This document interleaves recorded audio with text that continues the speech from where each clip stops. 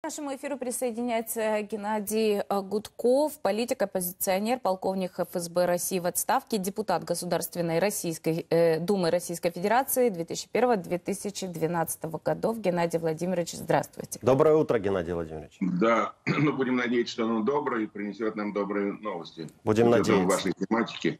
Да, будем надеяться. надеяться. Да, да. Остается... Вы думаете, так быстро это может произойти? То, о Ну, чем, то, о чем мы так, то, о чем мы так мечтаем и Чем хотим вас хорош- Чем спросить. хорош госпереворот, что он всегда наступает неожиданно, и мы зна- узнаем о нем уже утром или ближе к ночи. Но как вы думаете, в этот раз не зря всполошилась вся путинская охрана и устраивают учения в Москве? Там, говорят, даже уже до арестов дошло. Нет, ну сполошились они не зря. Понятно, что вся элита находится в состоянии крайнего возбуждения и шока.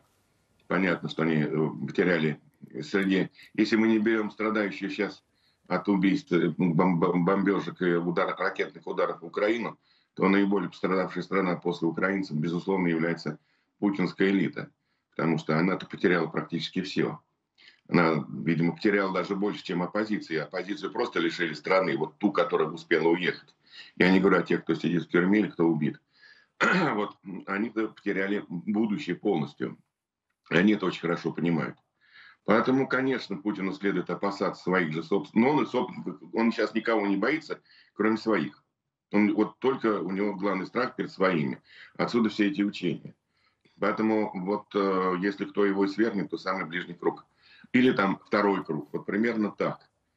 Кто вот э, имеет возможность, э, какой-то доступ к нему, какие-то э, ресурсы, это вот либо первый, либо второй круг. Даже не третий. А каким образом это может произойти? Вы сейчас начинаете, э, начинаете, это начинается гадание на кофейной гуще. А что означает вот этот рисунок? И будет ли там суженый в день какой-нибудь там или не будет? Это может произойти как угодно. Может упасть кирпич на голову, может э, э, приступ какой-нибудь болезни случится, да все что угодно.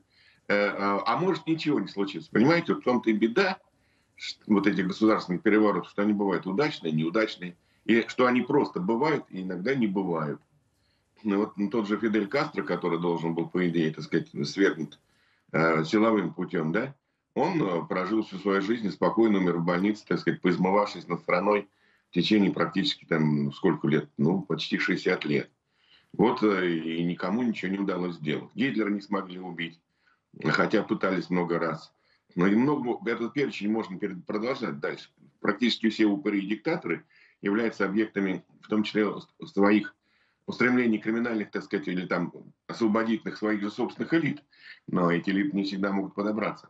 Поэтому мы с вами сейчас говорим о вероятностном э, государственном перевороте, что он может быть, но также может, к сожалению, и не быть. Хотя и для мира, и для Европы, и для России, и для Украины, э, для всех это самый лучший, самый мягкий и самый безболезненный вариант, если мы берем все остальные, э, сравниваем с ним. Э, Геннадий Владимирович, ну не сомневаемся, что Путин хотел бы, наверное, скорее всего, повторить судьбу Кастро, но для этого ему нужно сделать практически невозможное. Проиграть войну в Украине, преподнести ее как победу и остаться в кресле. Хоть, хоть малейший Ну, шанс на осуществление этого э, такого сценария вообще у него есть на сегодняшний день? Нет. Или все-таки исход уже его предопределен? Не-не-не, ну давайте так, вот давайте мы. Вот это мы сейчас так понимаем, как бы исходя из логики нормального человека, что исход предопределен. А Путин это не понимает. И вообще он себя ведет э, достаточно уверенно. Он своим окружающим, ближайшим говорит, ребята, не бойтесь, там есть более точное слово. Значит, не бойтесь, все пока нормально. У нас огромные ресурсы мобилизационные. У нас на всю э, мощь запущен, запущен оборонный комплекс. Ну да, нам каких-то микрочипов не хватает, но нам хватает брони, взрывчатки, э, стали там, э, и так далее, для того, чтобы меди, для того, чтобы делать снаряды, мины, для того, чтобы клепать стволы пушек, для того, чтобы какие-то машины шли в бой и так далее и тому подобное. То есть это он м, говорит своему окружению. Все идет по плану, они не выдержат. У нас э, ресурсов надолго. Долго они не выдержат. Европа замерзнет, Украина устанет. Мы ее заморозим. Люди не смогут все время жить в этом кошмаре. Кончится терпение у республиканцев каких-нибудь в Соединенных Штатах Америки. Что-нибудь произойдет в мире, типа там нападения на Тайвань. Не, вол- не волнуйтесь, все нормально. Я с вами, со мной не пропадете. Примерно такую мантру он повторяет для своих окружающих. Конечно, он их ругает, конечно, он разносит, конечно, конечно. Но в целом он выступает вот таким вот э, успокоителем своей элиты. Не волнуйтесь, мы прорвемся. Вот, собственно говоря, его сейчас нынешний посыл. Я понимаю, что, наверное, по-другому вести себя нельзя, но он ведет себя сейчас так. То есть он постарается не показывать на публике ни свою подавленность, ни растерянность, ни страх, ни какие-то там э, другие эмоции. То есть он старается вот показать, что он, еще все нормально. Да нет, мы додавим. Да не волнуйтесь, мы додавим. Да что у нас, посмотрите, у нас там мобилизационный ресурс 20 миллионов. Да мы их начнем в бой бросать, да не замучатся их убивать. Да они, так сказать, там ничего там не сделают. Народ здесь, мы не боимся, мы его создали армию в миллион с лишним человек, который его подавляет. Любое выступление, любой выход на улицу мы подавляем, так сказать, и там никто не, не пикнет. При Сталине все молчали, все 200 с лишним миллионов молчали сидели, э, так сказать, тихо и дрожали, как осиновый лист, сидели. Никто не выступил, никто не выступил. Хотя, посмотрите, полтора миллиона расстрельных, 20 э, миллионов отправлены в ГУЛАГ, там 2 миллиона из них погиб, каждый десятый. И никто ничего не вякнул. Поэтому чего вы не волнуйтесь, ребят, все будет нормально, я вам гарантирую. И ребята пока сидят, но не все, конечно.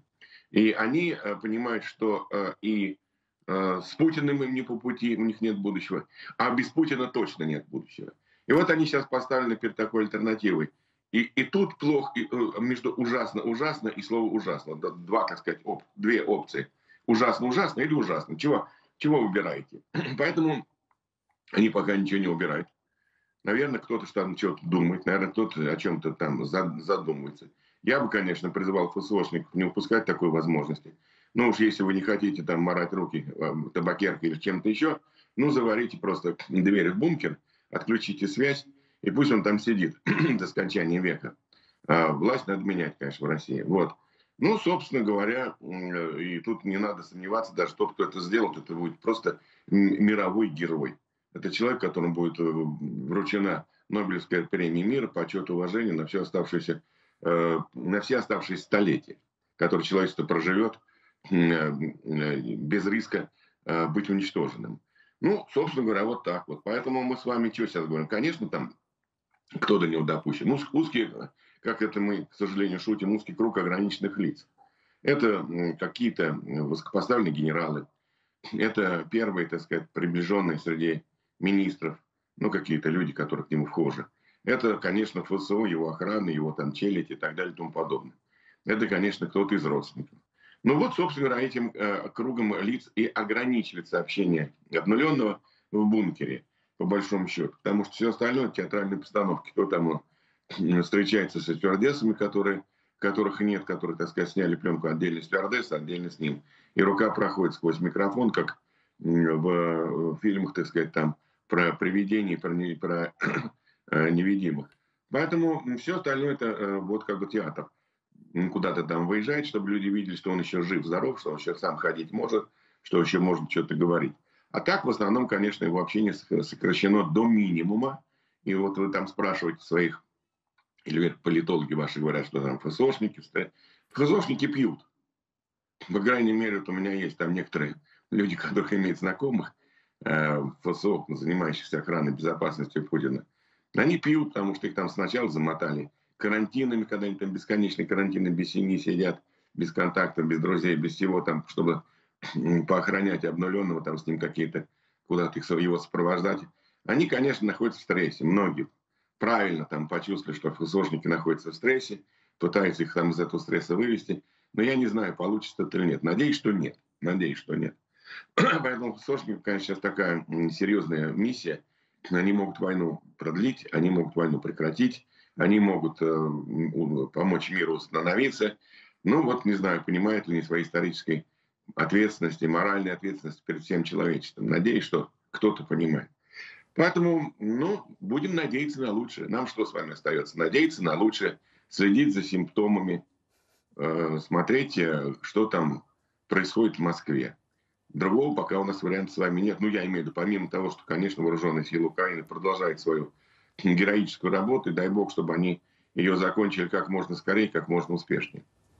Ну и э, ну, все мы прекрасно понимаем, почему в последнее время участились вот эти истерические мольбы о переговорах, да, Путину нужна пауза, и в том числе для сохранения своей власти. А, конечно, э, конечно, ну, вы знаете, конечно, вы обратили внимание, как его свои же пропагандисты сдают. Э, у нас, э, мы можем сейчас даже показать выступление Захара При, э, Прилепина. Прилепина, да, Захара Прилепина, Прилеп. который, в общем-то, на одном из ток-шоу взял и выболтал все основные планы – которые Россия возлагает на возможные переговоры с Украиной. Давайте посмотрим, конечно, это очень показательно. Конечно. Ну, наверное, последнюю мысль надо говорить. Потому что все равно придется довоевывать. Даже если мы заключим сейчас перемирие, нам неизбежно придется довоевывать эту историю до конца.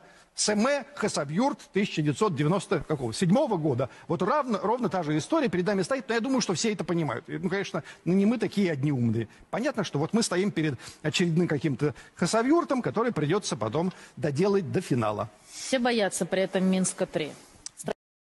Вот вам и настоящая цена этих переговоров. Как вы думаете, Прилепин Конечно. по дурости это ляпнул, вот это все? Или, возможно, это, и, или, возможно его ртом э, де, э, осуществляется какой-то коварный план противников Путина?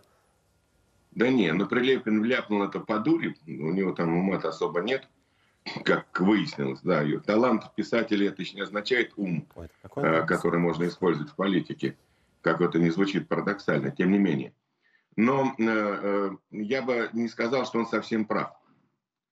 Путину надо выйти из угла, куда он сам себя загнал, как вот та крыс, про которую он там много раз рассказывал всему своему окружению, которое он видел в детстве. Он загнал себя в угол, ему надо как-то выйти. Как выйти? Вы правильно сказали, что его поражение военное означает его конец. Не простит ему элита. Народ, ты что там, народ оболванен. Народ загнан по щелям, разогнан по щелям. Народ там находится в состоянии глубокой депрессии, угнетения и так далее. Там, ну, я не беру вот этих э, отмороженных, там их процентов, может быть, 20-25, которые там все еще его поддерживают, его военные, так сказать, потуги. А в целом понятно, что уже народ сейчас, э, так сказать, совершенно по-другому относится к, э, к войне и вообще к тому, что происходит в стране. Поэтому ему надо как-то перед элитами оправдаться. А как оправдаться? Он сейчас хочет сесть, усадить Украину любой ценой за стол переговоров, чтобы поторговаться с Украиной и мировой коалицией украинскими территориями, пока он их удерживает. Пока еще есть чем торговаться.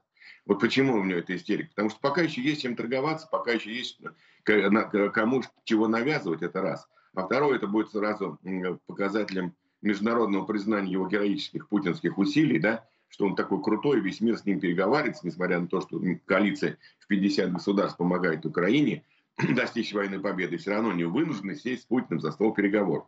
Вот он что добивается. И весь, вся элита скажет, ну да, крутой наш вождь.